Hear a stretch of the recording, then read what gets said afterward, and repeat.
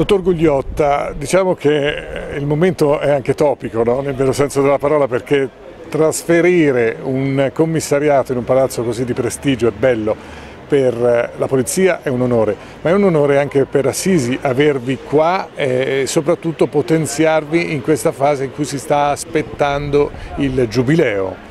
Dico, ha detto bene, è un onore e secondo me anche produttivo perché siamo in un punto strategico della città, in un palazzo prestigioso e finalmente devo dire grazie alla missione comunale di Assisi che veramente si è impegnato in modo concreto, fattivo e in parte al Dipartimento il nostro personale ha una struttura dignitosa perché penso che è un diritto dei lavoratori quello di lavorare in strutture adeguate e poi mi permetta di dirlo, in tempi di ristrettezze economiche è una struttura più funzionale e più grande e c'è un risparmio dell'affitto della locazione circa del 25%.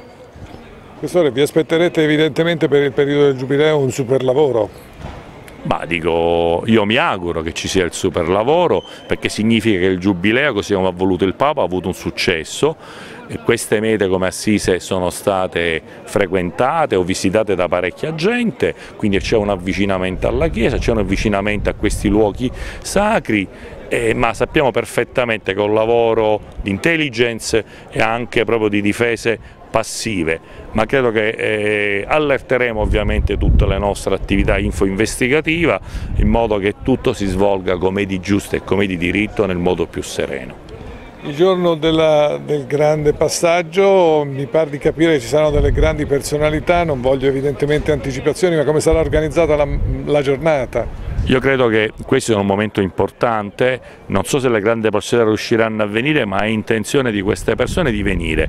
Ma la giornata sarà in segno della semplicità come di giusto che sia. Cercheremo di creare meno disagio alla gente e di essere vicini alla gente. Sarà una qualche cerimonia che è aperta a tutta la comunità di Assisi in questa piazza meravigliosa dove ci sarà qualcosa che tenderà di rinsaldare questo rapporto che c'è tra Polizia di Stato e cittadini tra Polizia di Stato, cittadini e amministrazione comunale, all'insegna della semplicità e della concretezza.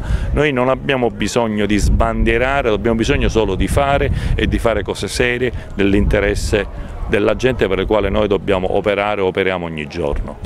Palazzo Giampè è bellissimo, dentro ci sono molti affreschi, è possibile che poi le chiederanno anche di essere trasferiti nella città serafica? Ma guardi, le domande di trasferimento ci sono, eh, ci sono e ce ne sono tante. Beh, infatti già qualche collega mi diceva, beh, mi farebbe piacere chiudere il mio servizio ad Assisi.